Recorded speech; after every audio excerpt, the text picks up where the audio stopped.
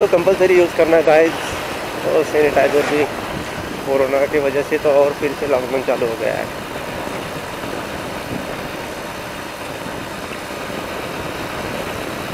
पता नहीं कितने साल तक ऐसे ही चलते रहेगा। अभी तो ओपन हो गया था सब कुछ और फिर से लॉकडाउन चालू कर दिया सरकार ने तो। लॉकडाउन की वजह से पूरा खाली खाली लग रहा है, ना कोई अभी बाहर आ रहा है, ना कोई कुछ। सब लोग अपने घर में बैठते हैं। और जो बाहर निकलते हैं तो पुलिस वाले तो उनको छोड़ते नहीं आपको तो पता ही होगा, दो साल से देख रहे हैं। लॉकडाउन में क्या हाल होते हैं तो। तो गाइज़ आप लोग भी जब भी बाहर जाओगे या बाइक पे निकलोगे तो बिना हेलमेट के, बिना मास्क के, बिना सैनिटाइज़र के बाहर मत निकलना। क्योंकि अभी तो बहुत ही स्ट्रिक्ट वातावरण चालू है। स्ट्रिक्ट होने की वजह से तो लॉकडाउन चालू होने की वजह से तो बहुत ही प्रॉब्लम हो रही है।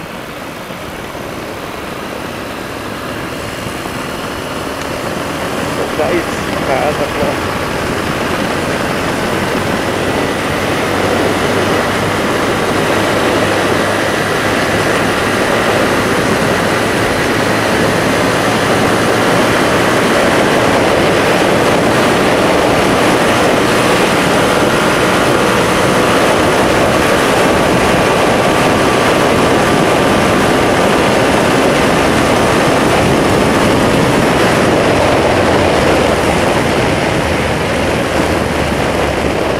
रास्ता पूरा सोना सोना लग रहा है, खाली खाली, गाड़ी चलाने में तो और ही मज़ा आता है। जहाँ पे ट्रैफ़िक नहीं मिलती है वहाँ पे तो गाड़ी चलाने का बाइक चलाने का मज़ा ही बहुत बहुत ही बढ़िया आता है। मुझे ऐसे खाली रास्ते में तो बहुत ज़्यादा मज़ा आता है गाइड आपको कहाँ पे मज़ा आता है बाइक चलाने में, मुझे कमेंट बॉक्स में बता देना। मुझे भी पता चले मेरे फैमिली को बाइक चलाने में कैसे मज़ा आता है।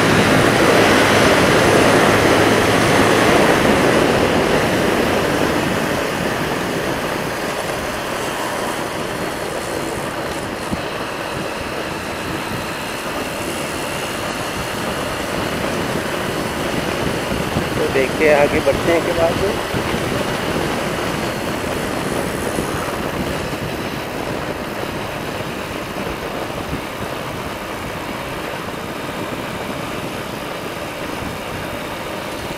गाइज़ आपको तो पता ही होगा जो अभी सरकार ने जो नया रास्ता नेशनल हाईवे का जो बनाया है, समृद्धि महामार्ग, जो नागपुर, मुंबई, उसका काम अभी तो पूरा ख़त्म हुआ नहीं।